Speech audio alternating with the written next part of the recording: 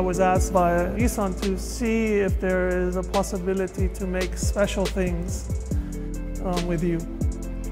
And the two-year journey started from there and really appreciate all the inspiration. Nissan is trying to find new Japaneseness in car design.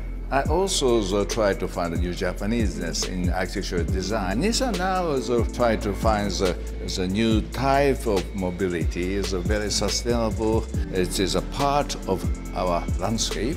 I also try to uh, find that kind of integration between naturalness and technology. This is the, the first thing we have managed to build together, and we have more. For this booth, we tried to bring the very light, transparent element. And uh, the, this cloud is a good example of that kind of integration. And as we tried, the, that special material with origami as a folding, so we can as a create as a, a kind of cloud in the space.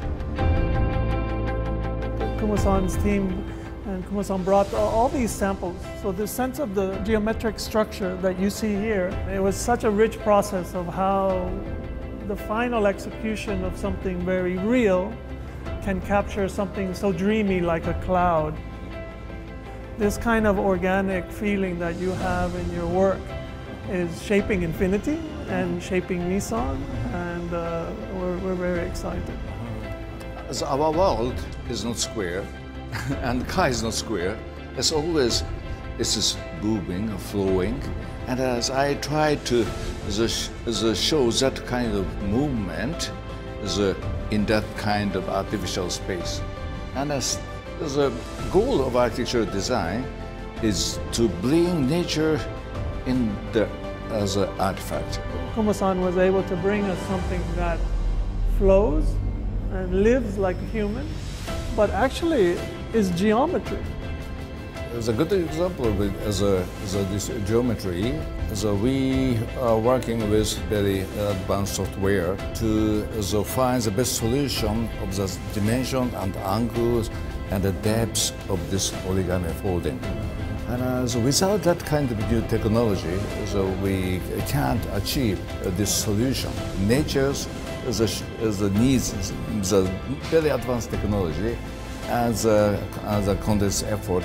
And uh, then, the, the, after long process, finally we can find the solution.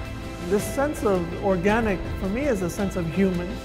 As we electrify Infiniti, um, I, I, feel that the sense of warmth of humanity and the sense of consideration and, and harmony, as I've mentioned, um, immediately translates into this. Nissan is electrifying and we want to help people go to a better world.